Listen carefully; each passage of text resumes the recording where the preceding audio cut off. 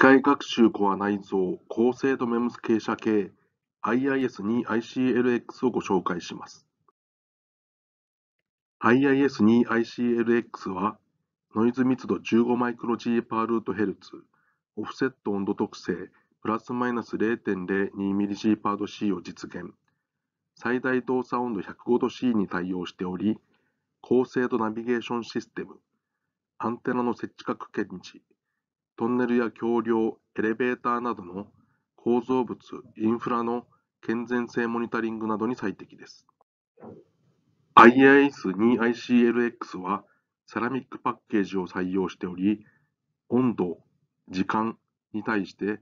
極めて高い安定性を持っています。周波数特性は、こちらのグラフが示す通り、DC からロールオフ周波数までフラットな特性です。ノイズ密度は、ティピカルで15マイクロ G パールートヘルツ、最大でも30マイクロ G パールートヘルツと超低ノイズです。IIS に ICLX に内蔵されている機械学習コアは、システムの消費電力低減、効率的な状態検知やエッジコンピューティングの実現に寄与し、新たな価値を提供します。機械学習コアは、デバイス内蔵のセンサーだけでなく、外部センサーのデータも入力として取り込み可能です。それらのデータに対して各種フィルター処理や平均値、分散値などの特徴量の抽出を行い、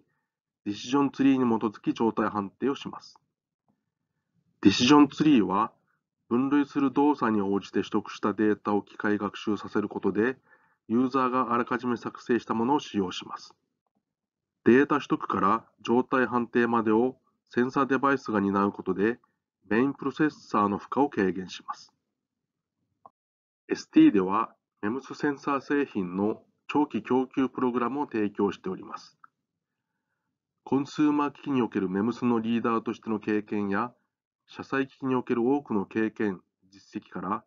産業機器に最適な性能と長期供給性を備えた MEMS 製品を提案いたします。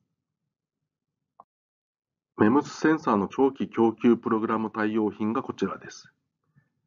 IIS に ICLX もこのプログラムの対象です。ST では充実した評価環境を提供しております。 Unico GUI とプロフェッショナル MEMS ボードをご用意いただくと、開発初期段階の評価や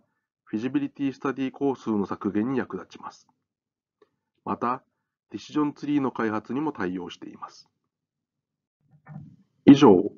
機械学習コア内蔵高精度 MEMS 傾斜計 IIS2ICLX のご説明をご覧いただきありがとうございました。